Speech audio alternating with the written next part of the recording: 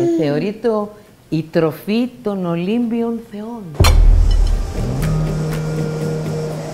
Οι μέλισσες μεγάλωσαν με μέλι κρυφά το Δία, που έγινε τρανός και δυνατότερος από όλους τους θεούς.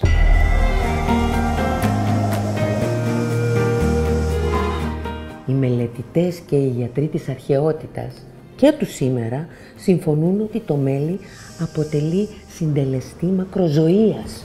Σκέψου ότι ο πατέρας της ιατρικής, ο Ιπποκράτης, συνιστούσε το μέλι σε ασθενείς αλλά και υγιείς, έχοντας ανακαλύψει από τότε τις ευεργετικές του ιδιότητες. Είναι πλούσιο σε θρεπτικά συστατικά, άρωμα και γεύση. Έλα τώρα να σου αλείψω μία φέτα ψωμί με μέλι να καρδομώσεις.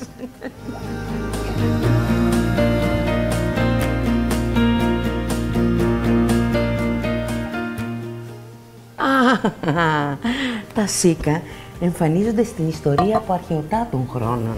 Τα σίκα είχαν εκτιμηθεί τόσο πολύ από τους αρχαίους Έλληνες που δημιούργησαν ακόμη και νόμους απαγόρευσης της εξαγωγής των καλύτερων σε ποιότητα σίκων. Οι Έλληνες και οι Ρωμαίοι βοήθησαν να εξαπλωθεί η καλλιέργειά τους σε όσες χώρες βρίσκονταν, καθιστώντας με αυτόν τον τρόπο το σίκο ως βασικό προϊόν της μεσογειακής διατροφής. Και αυτό, γιαγιά; Αυτό, αγάπη μου, αυτό είναι το περίφημο λάδι Αττικής.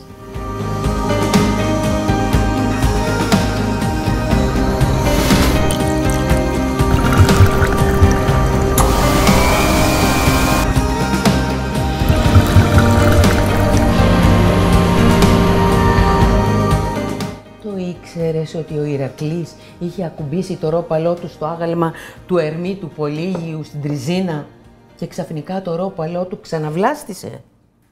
Ε, σε οροπέδιο των μεθάνων παραδίπλα βρέθηκε το αρχαιότερο ελαιοτριβείο.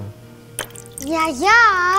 Το κρασί ερεάφθονα στα συμπόσια στα αρχαία χρόνια. Αλλά το να μεθύσεις δεν ήταν αποδεκτό.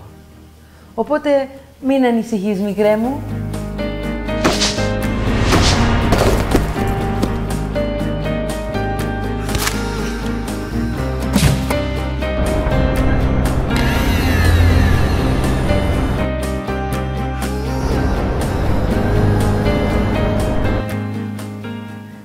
Άλλωστε οι αρχαίοι ημών πρόγονοι θεωρούσαν ότι το κρασί γαλινεύει τους ανθρώπους και τους βοηθάει στην επικοινωνία μεταξύ τους. Έλα, τσιν.